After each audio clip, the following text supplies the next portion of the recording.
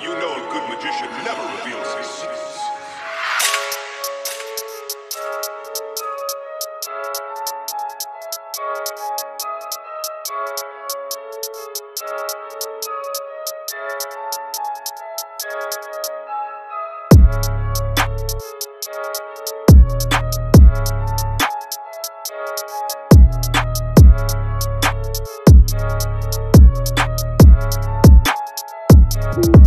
We'll be right